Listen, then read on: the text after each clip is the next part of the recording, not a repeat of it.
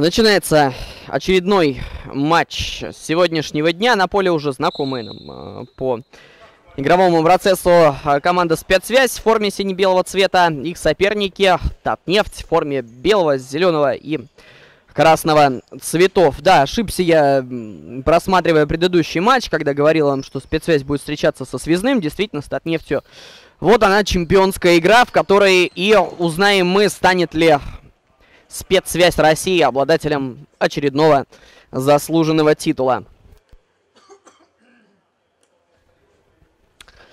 Татнефть э, находится в середине нашей турнирной таблицы. Ну, команда непредсказуемая, очень классная. Сколько сезонов она провела на высочайшем уровне. И если бы не подобрались э, настолько серьезные соперники, то наверняка Татнефть снова бы смогла завоевать для э, себя разного рода медали и награды. Сейчас у команды Татнефть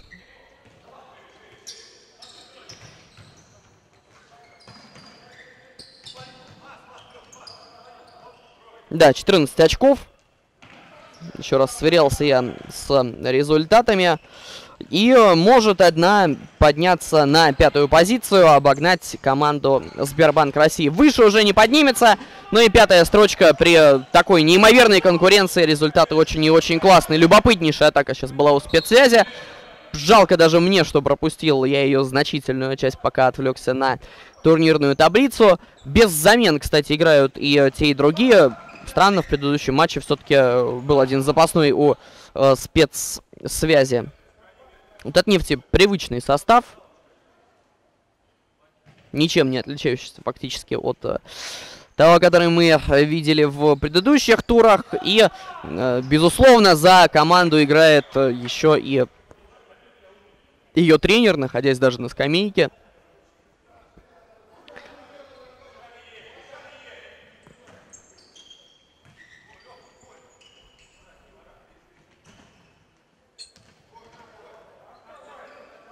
Владимир Татарчук тренирует Татнефть. Напомню вам, друзья. Ох, сейчас после рикошета мяч все-таки... Сейчас будем смотреть. Нет, судья единодушно не было попадания мяча в, в ворота. Но что ж, дорогие друзья, вот для вас есть небольшое задание в том случае, если вы сами согласитесь, то, пожалуйста, вот посмотрите этот момент с разных ракурсов. И ответьте нам на вопрос, влетел ли все же мяч в ворота или не было этого попадания. Ну, удар, конечно, классный был. Еще одна контратака у Холодкова. И снова мимо. Вот теперь уже можно говорить, что снова.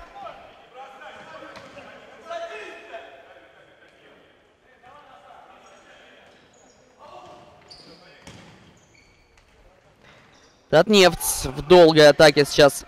Щукин ударил хорошо над крестовиной. Мяч пролетел.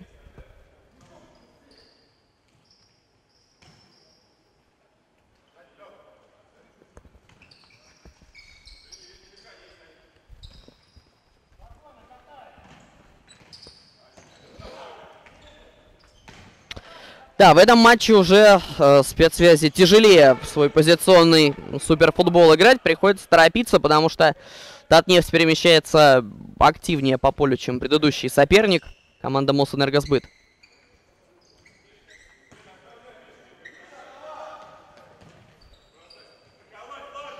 Сманов с мячом. Не получилась точная передача на Исмагилова. Не в ногу мяч вложил, как говорят. А снова Погорелов будет разворачивать. Антипов. И дальше пошла атака до Холодкова. Мяч в итоге дошел, но здесь пробить будет тяжело. Здесь держит его. И все-таки вырвался из-под опеки Лупанова. И ударил, но не точно.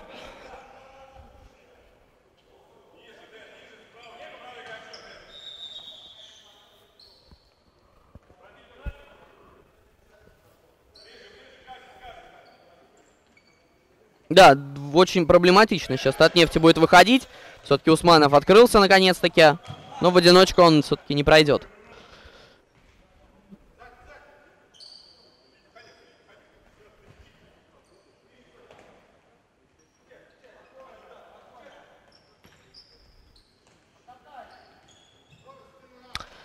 Опять неспешно идет футбол.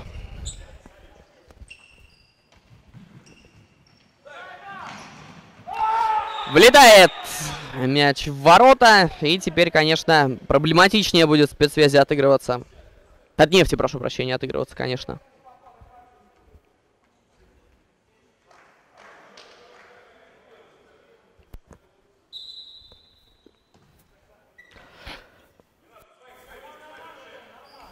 Усманов, Исмагилов. Снова Усманов. Хорошо они прошли в такой простой стеночке. Ну, самое главное, это, конечно, эффективность.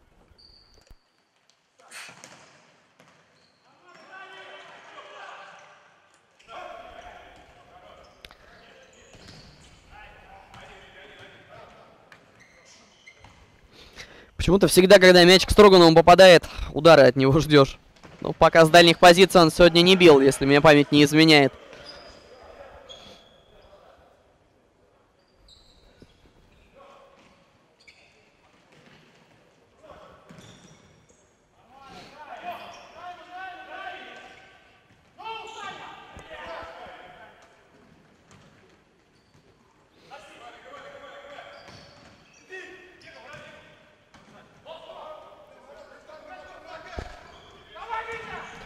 Очень точный удар, но ошиблись. Наши нефтяники еще один мяч пропускают.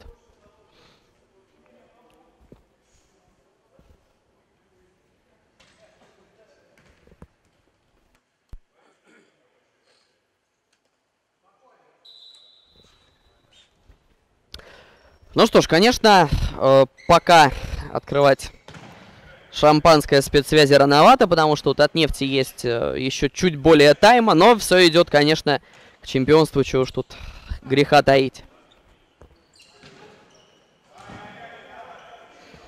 Здесь уже можно поошибаться даже в таких дальних забросах, ничего критического нету. Спецсвязь постоянно играет э, в атаке, в этом, да и в предыдущих матчах тоже играла. Вот, и если нужно будет, если даже пропустят пару мячей, ну, отойдут в оборону и наверняка все-таки золото для себя сохранят. Тем более еще один мяч влетает. Ну, нефтяники сегодня прилично, конечно, ошибаются в обороне. Об этом тоже нельзя, конечно, не сказать. И, ну что уж тут брать тайм-ауты и какие можно делать внушения. Конечно, средств маловато для того, чтобы игру как-то изменить. По крайней мере, нету запасных. Ну и в составе э, Татнефти сегодня приехали играть э, сильнейшие. Низамова Айдара, правда, нет. Вот не забыл я вам об этом сказать. Действительно, вот смотрю на Татнефти, вижу, что чего-то не хватает в ее действиях.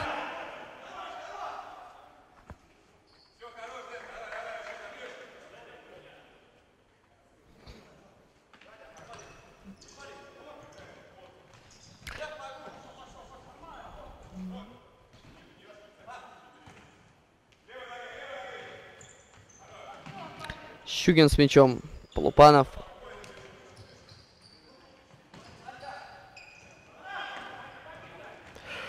Хорошую разыграли комбинацию. Практически дошел мяч до Полупанова. И если можно было вот засчитать не целый гол, а четвертиночку мяча, тогда вот счет был бы одна четверть четыре.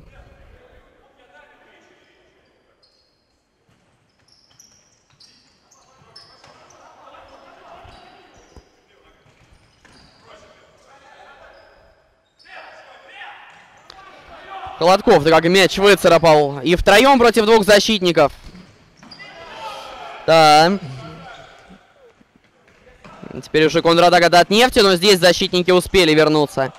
На Усманова бы уже никак бы мяч не прошел.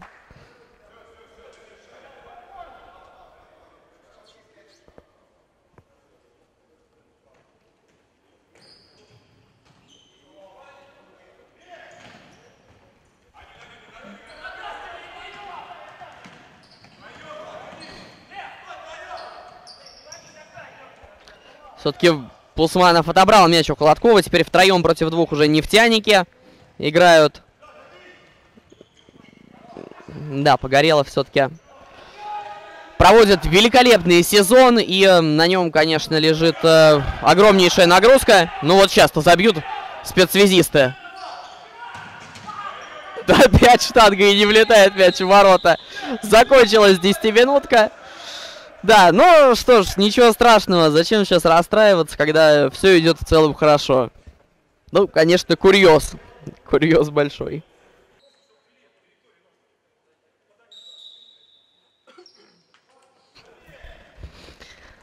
Продолжается матч спецсвязи и Татнефти. Счет 4-0. Вот сейчас в тайм-ауте были э, долгие споры насчет двух моментов, когда э, мячи попадали в каркас вороты.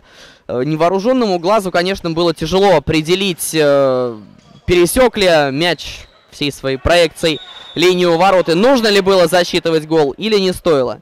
Но э, все футболисты, посмотрите, пожалуйста, видеозапись матчей и постарайтесь разобраться.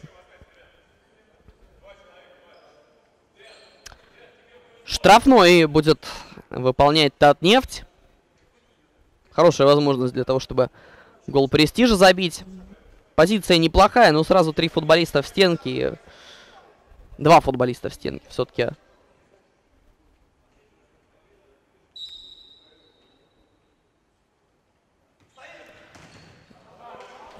Ну что ж, очень хладнокровно, действительно.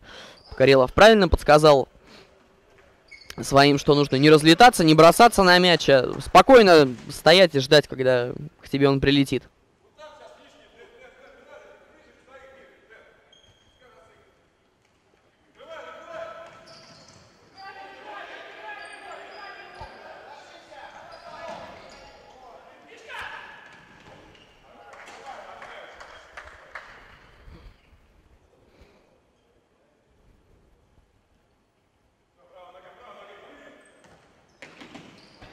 Ох.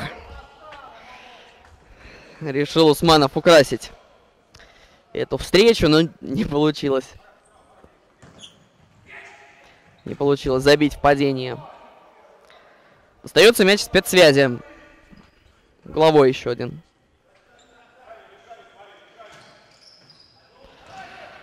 Как-то Холодкова-то оставили одного. Непонятно, два защитника вроде бы в штрафной находилось. Но до Холодкова мяч дошел.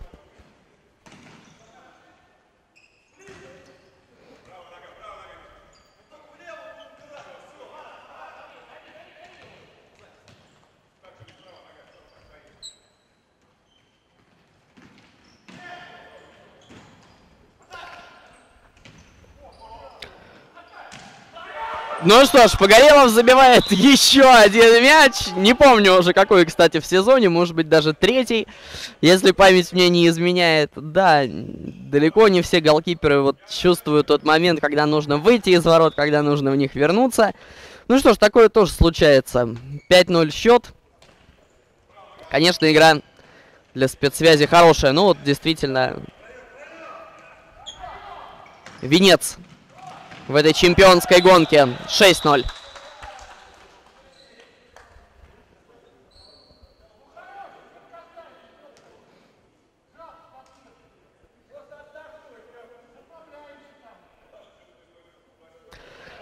Когда счет был 2 или 3-0, я говорил, что спецсвязи рано еще шампанское открывать, но уже не шампанское, никакие другие напитки не смогут вырвать у ребят очередной трофей. Будет еще, э, к слову, совсем скоро, 1 июня, если не ошибаюсь, кубок Александра Панова, в котором встретятся э, все наши команды. Будет интересно, будет необычно, хоть и традиционно для наших соревнований, но тем не менее обязательно посмотрите. Многие матчи еще и в прямом эфире будут показаны, что сделает футбол еще более интересным. Головой спецсвязь должна подавать. Ну, конечно, Усманов все-таки выбивал головой. Погорелов. Ну, еще один. Может быть, дубль в этом матче сделает. Нет, пока не сделает. Седьмой мяч. Ну что, Холодков наконец-таки забил. Видимо, да.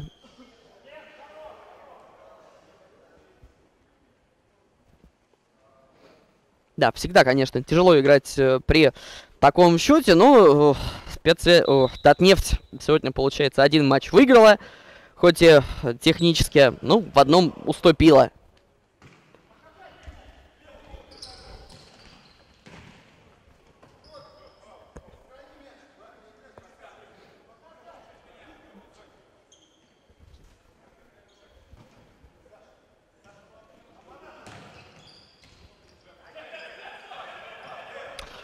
Только одно поражение в этом сезоне э, было у спецсвязи. Была еще одна ничья. Кстати, восьмой гол забивает спецсвязь. Ну, кстати, сейчас может рекорд поставить по результативности в наших соревнованиях, если уже не поставила. Сейчас надо уточнить. Да, действительно, это рекорд. Рекорд был еще даже 7-0. А сейчас-то Показатель выше всяческих похвал.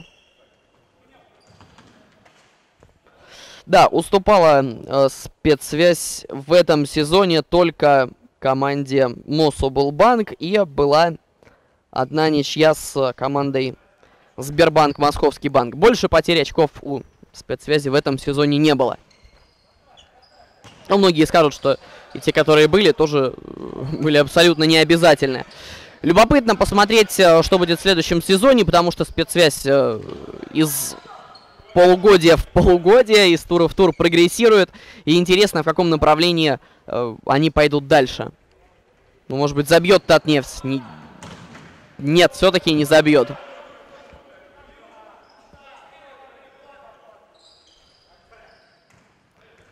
Хладков сам мимо. А хочет забить, конечно. Не идет сегодня у Дениса. Ну, ничего страшного. Все-таки э, никто после сегодняшнего тура не усомнится, что Денис по-прежнему один из лучших бомбардиров и нападающих в нашем соревновании.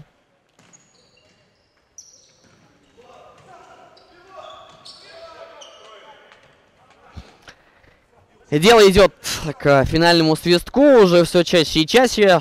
Судьи на секундомер поглядывают.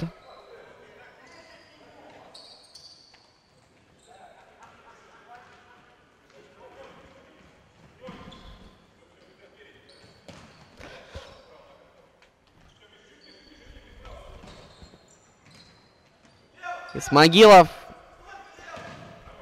Ну, конечно, уже с неохотой специалисты обороняются.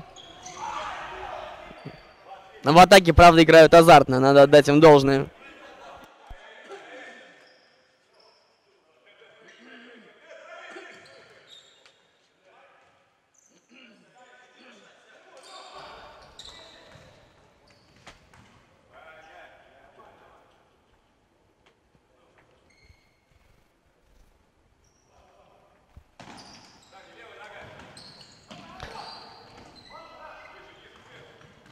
Да, ну 9-0 счет был бы, конечно, уже совсем несправедливым.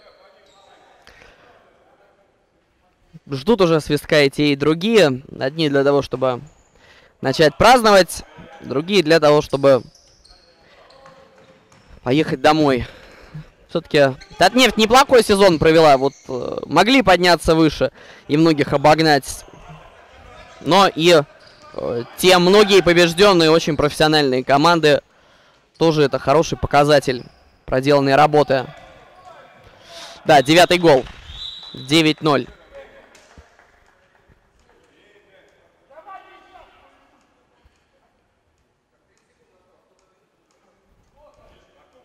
Тридцать секунд осталось, сейчас подсказывает.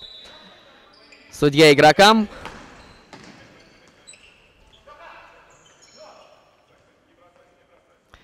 Лупанов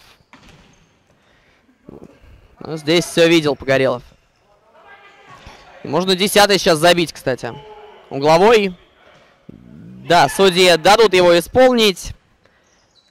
Хладков все-таки забивает. Счет становится 10-0.